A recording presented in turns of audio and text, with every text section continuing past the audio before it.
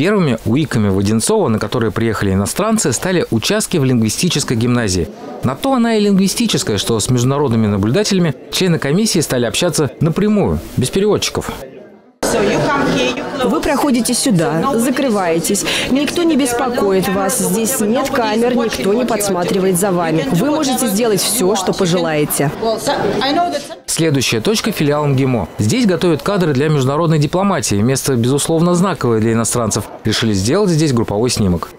Человек, который беспрерывно все снимает на телефон, представитель африканской страны Эсватини Сифо Сити Тембе, запечатлел переносную урну для голосования и каибы и просто сделал селфи на фоне.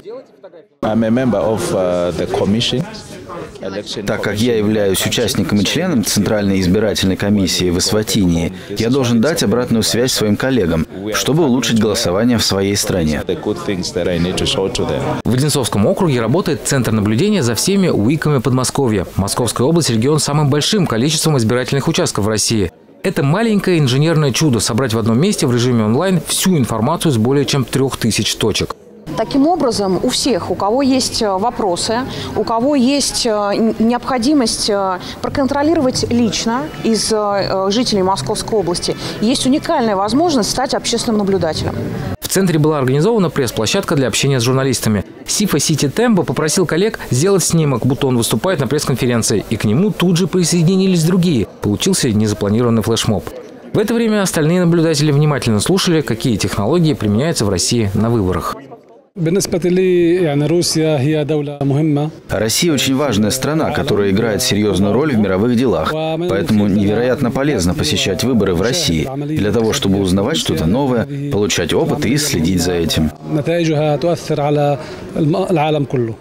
Делу время, потехи час. После осмотра работы избирательных участков для гостей устроили культурную программу.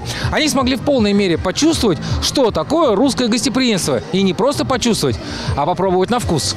В городском парке гости попали на народные гуляния, масленицу, частушки, игры иностранцев даже втянули в хоровод. Те, впрочем, не очень-то и сопротивлялись. Сифа Сити Тембо попросил дать ему рецепт такого простого и удивительно вкусного угощения, как русские блины. It's more than the word nice. Это больше, I, чем I just can't explain it. Я не могу I wish, I wish I could carry some to my country. Он бы хотел привезти несколько штучек в свою страну or домой. Sort of, or sort of get the, the, the ingredients, how it is made. I would love to get the, the the recipe, the recipe. И был бы очень рад получить рецепт и узнать, из каких ингредиентов готовится это блюдо. Разумеется, иностранные гости посетили и Савино-Сторожевский монастырь. Здесь свои новости. Рабочие разбирают стропила. Накануне на колокольню водрузили новый многотонный колокол. Еще один повод посетить красивейшее место Подмосковья. Фарид Тамалах, хоть и мусульманин, но с удовольствием осматривает православный монастырь. Вообще-то, говорит, Иисус его земляк, родом с Палестины. А если серьезно, его восхищает мир в многоконфессиональной России.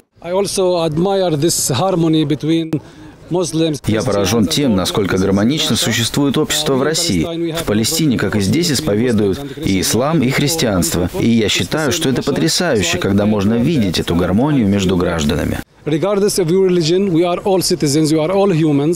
Итоги и выводы по результатам работы международная миссия озвучит чуть позже. В целом, Россия продолжает свою политическую, общественную, культурную жизнь. Без оглядки на сложную международную обстановку.